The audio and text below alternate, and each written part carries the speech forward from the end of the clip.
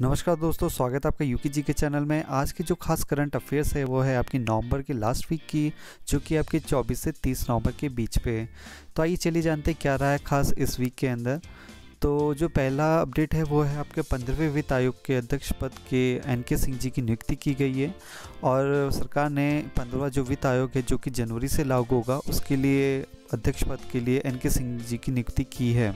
इस समय जो वित्त आयोग चल रहा था आपका, वो चल रहा था आपका चौदहवा वित्त आयोग, यानी कि फाइनेंस कमीशन, और ये आपका बना था 2013 में और इसकी जो गठन किया गया था 2 जनवरी 2013 को, और 2018 यानी कि पाँच साल के लिए वित्त आयोग होता है। तो चौदह आयोग, वित्त आयोग जो है आपका 2018 में, अब ये ख़त्म हो जाएगा मतलब सत्रह के अंदर 2018 से नया चलेगा। तो जो अभी तक की जो इस पर चेंजेस होते हैं जो वित्त आयोग की रिपोर्ट होती है, उसके ऊपर जो भी कार्रवाई की जाती है, वो करीबन जो फाइनेंस कमीशन की जो रिपोर्ट होती है, उसके दो साल बाद उस पर अमल में लाई जाती हैं चीज़ें। तो 2013 से पहले की जो रिपोर्ट्स थी, उसके ऊपर काम किया गया था 2015 तक। और अब जो 2017 की जो ख़त्म हो जाएगी 2018 को तो उसके बाद इसके ऊपर जितनी सारी चीज़ें उसको अमल में लाने के लिए 2020 तक की जो है टाइम डेट होती है। और उसके बाद जो नया ये वाला जो वित्त आयोग चलेगा आपका 2018 से लेके 2022 तक का सॉरी 2023 तक का तो उनके ऊपर, उसके बाद नेक्स्ट टू ईयर्स में उसके ऊपर गठन किया जाता है और उसके ऊपर आपका अमल में लाई जाती हैं चीज़ें।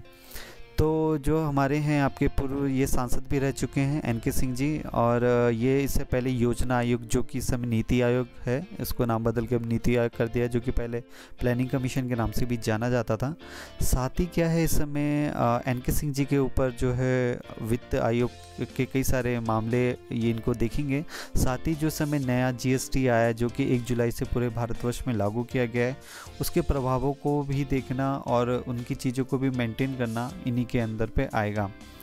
तो वैसे वित्त आयोग है, क्या एक ये एक तरीके से एक संवैधानिक संस्था है, जिसका गठन संविधान के अनुच्छेद यानी कि आर्टिकल 280 के तहत किया गया जो कि हर साल, पाँच साल के अंदर होता है।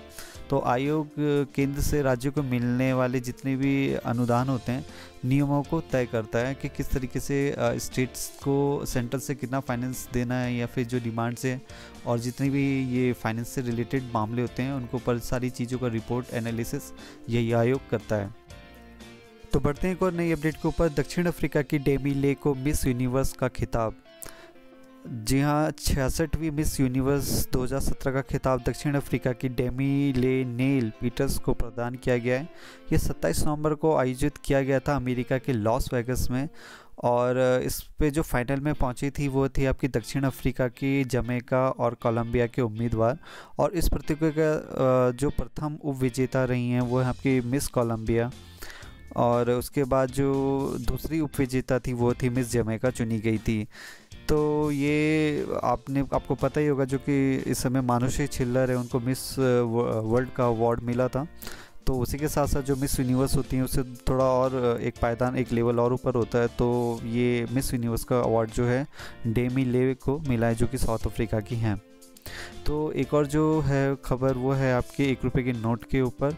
जी हाँ एक रुपये के नोट ने पूरे किए हैं सौ सौ वर्ष अपने और भारत में एक रुपये का जो नोट है, उसने 30 नवंबर को अपने सौ वर्ष पूरे कर लिए हैं।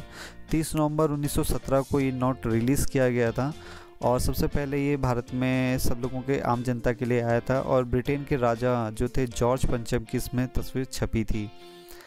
तो इस नोट की खासियत ये है कि ये अन्य जो नोट होते हैं हमारे दस के, बीस रुपए के या सौ रुपये या पाँच सौ के, दो हज़ार के, ये नोट क्या है कि भारतीय रिज़र्व बैंक जारी करता है। मगर एकमात्र एक रुपये का नोट ऐसा है जिसको भारत सरकार खुद छपाई करती है इसकी और खुद ही जारी करती है। और इस पर जैसे कि रिज़र्व बैंक के जो गवर्नर होते हैं उनके सिग्नेचर नहीं होते हैं। जैसे इन्हें आप, आपने देखा होगा जो समय हमारे गवर्नर हैं इस समय जैसे हमारे गवर्नर हैं इस समय उर्जित पटेल जी और इससे पहले रहे थे रघु राम राजन तो उनके सिग्नेचर आपको उन, उनके नोट के नीचे ज़रूर मिलते हैं हमारे नोट जितने भी होते हैं। मगर इस पर जो है वित्त सचिव जो होता है हमारा फाइनेंस सेक्रेटरी उनके सिग्नेचर हमें मिलते हैं देखने को। और ये एकमात्र ऐसा नोट होता है जिसका फुल वैल्यू करेंसी होता है और जो बाकी नोट होते हैं वो एक प्रोमिसरी नोट होते हैं जिस पर आपने देखा भी होगा कि धारक को मैं सौ रुपये देने का वचन करता हूँ। इस तरीके की स्टेटमेंट छपी होती है उस नोट के ऊपर। और एक रुपये का नोट जो था ब्रिटिश सरकार के टाइम पे तीन वित्त सचिवों के हस्ताक्षर के साथ रिलीज़ किया गया था। ये नाम था आपके M S Gubbe, S E McWaters और एच डेविंग। और आज़ादी से लेके अब तक 18 जो वित्त सचिव हैं, उनके हस्ताक्षर वाले नोट जो हैं, इस समय तक जारी किए गए हैं। और इस समय के जो हमारे वित्त सचिव हैं, वो हैं आपके हसमुख आदिया और इस समय प्रेजेंट फाइनेंस सेक्रेटरी हैं। जो अगली अपडेट है वो आपके अड़तालीसवा भारतीय अंतर्राष्ट्रीय फ़िल्म महोत्सव के लिए और इसका जो समापन किया गया था वो है आपका 28 नवंबर को। ये महोत्सव चला था आपके गोवा की राजधानी पणजी में और बेम्बोलियम के डॉक्टर श्याम प्रसाद मुखर्जी स्टेडियम में 20 से 28 नवंबर के बीच में इसका आयोजन किया गया था। फ़िल्म कलाकार अमिताभ बच्चन को पर्सनालिटी ऑफ़ द ईयर के पुरस्कार के साथ यहाँ पे नवाजा गया और कनाडा के मशहूर फिल्मकार एटम आयोन आग्योन को लाइफ टाइम अचीवमेंट अवार्ड से भी सम्मानित किया गया है।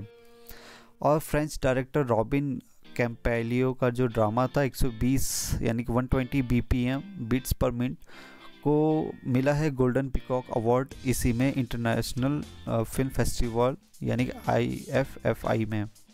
यहाँ पे जो अगली अपडेट है वो है आपकी जिम्बाब्वे से। जिम्बाब्वे के एमरसन नांगागवा ने जो है राष्ट्रपति की शपथ ली है। और जिम्बाब्वे के राष्ट्रपति के रूप में एमरसन नगावा ने 25 नवंबर को शपथ ली थी। इससे पहले जिम्बाब्वे के राष्ट्रपति रॉबर्ट मुगावे, मुगाबे ने 22 नवंबर को अपने पद से इस्तीफा दे दिया था। और ये जो है कि ये बात मानी गई थी कि राष्ट्रपति मुगाबे जो नज़रबंद कर दिए गए थे, सत और वहाँ की जो सत्ता है, वहाँ की सेना ने ले ली थी। क्योंकि 1980 में ब्रिटेन से अपनी स्वतंत्रता से लेकर अब तक रॉबर्ट मुगाबे जो हैं इसी जिम्बाब्वे का नेतृत्व कर रहे थे और उनकी उम्र इस समय जो है तिरानवे साल, यानी कि 93 थ्री ईयर्स के वो हो चुके हैं। और उसके बाद क्या चाहते थे कि वो अपने ही किसी वारिस को या अपने ही किसी फैमिली से आगे राष्ट्रपति पद के लिए रखना चाहते थे, लेकिन जो बात वहाँ की सत्ता थी और जो वहाँ की आर्मी थी, वहाँ के लोग इस बात को पसंद नहीं कर रहे थे और वो चाहते थे कि कोई नया वहाँ पे आए। और उन्होंने अपनी पत्नी ग्रेस को भी इस पर आगे किया था कि वो इलेक्शन लड़े या फिर वो वहाँ की नहीं, आपके राष्ट्रपति पद के लिए खड़े हों। लेकिन जो कि वहाँ के समय हमारे नांगागवा हैं, इन्होंने जो है इससे पहले उपराष्ट्रपति थे इस पद में तो वहाँ की सेना के जो प्रमुख थे, उन्होंने उनका राष्ट्रपति बनने का जो है एक राष्ट्रपति बनने के लिए जो है पहल की और उनको फाइनली जो है राष्ट्रपति बनाया। और उसके बाद से वो मुगाबे को उनको बर्खास्त कर दिया गया उनके अपने पद से। कुछ बात करते हैं राष्ट्रीय घटनाक्रम की जो कि नेशनल करंट अफेयर्स से जुड़ी हुई हैं।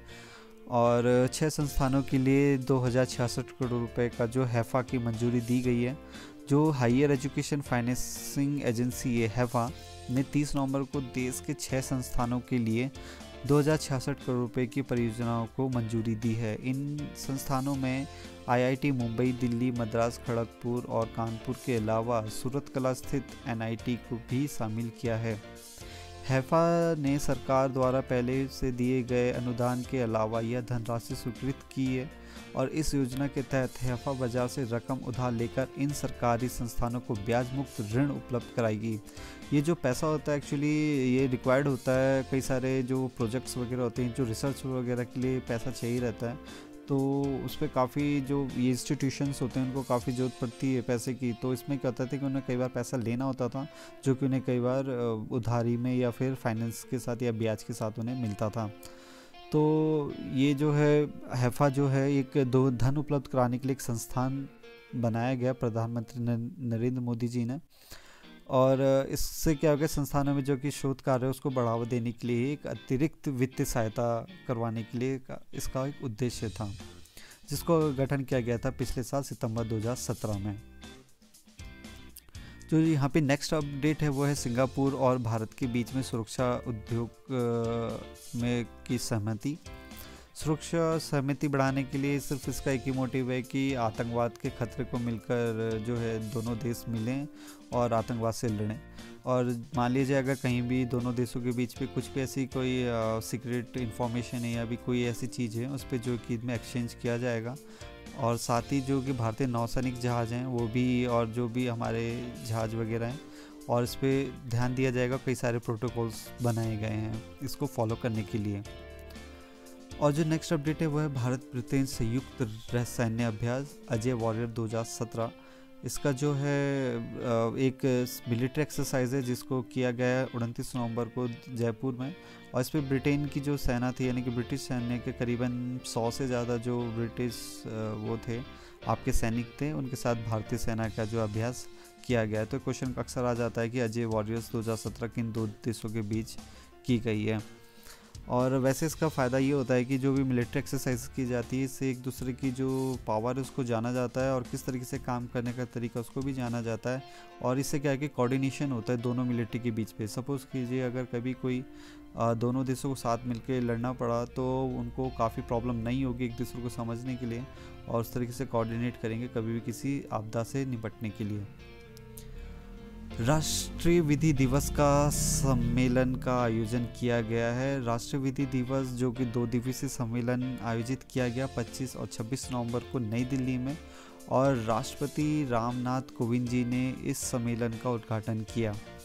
और ये जो मैं आपको बता दूँ कि जो हमारा ये विधि दिवस यानी कि संविधान दिवस, ये मनाया जाता है हर साल 26 नवंबर को।